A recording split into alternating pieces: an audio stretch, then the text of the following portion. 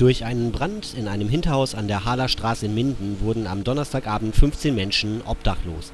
Nach ersten Erkenntnissen der Feuerwehr wurde niemand verletzt. Ja, um 19.46 Uhr erreichte uns der Alarm, dass hier an dem Eckhaus in dem hinteren Teil Flammen und Rauch aus dem ersten Obergeschoss dringen sollten.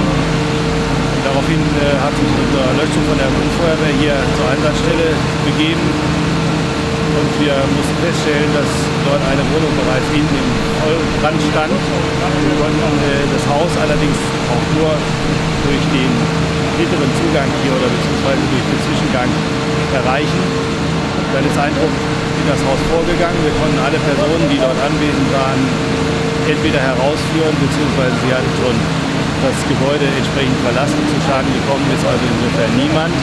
Allerdings äh, gibt es jetzt noch zahlreiche Nachdruckarbeiten oder Reichenlöscharbeiten hinsichtlich dessen, dass wir da oben eine Dachkonstruktion haben aus äh, Holz und Teerpappe, in der natürlich jetzt noch einige Blutnester sitzen. Und wir müssen natürlich darauf achten, dass uns jetzt das Feuer nicht noch auf andere Gebäudeteile übergreift bzw. sich entsprechend ausbreitet.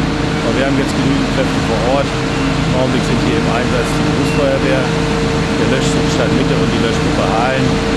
Und wir haben auch einen Bus geordert, um die Personen, die hier jetzt im Augenblick zunächst mal im Freien stehen müssen, die im Hause waren, kurzfristig zumindest aufgewärmt und untergebracht werden können. Das handelt sich um unseren Einsatzleitbus von der Feuer- und Rettungswache, der wird jetzt den nächsten Minuten hier eintreffen. Die Lösch- und Sicherungsarbeiten dauerten bis in die Nacht an. Die Polizei sperrte den Brandort weiträumig ab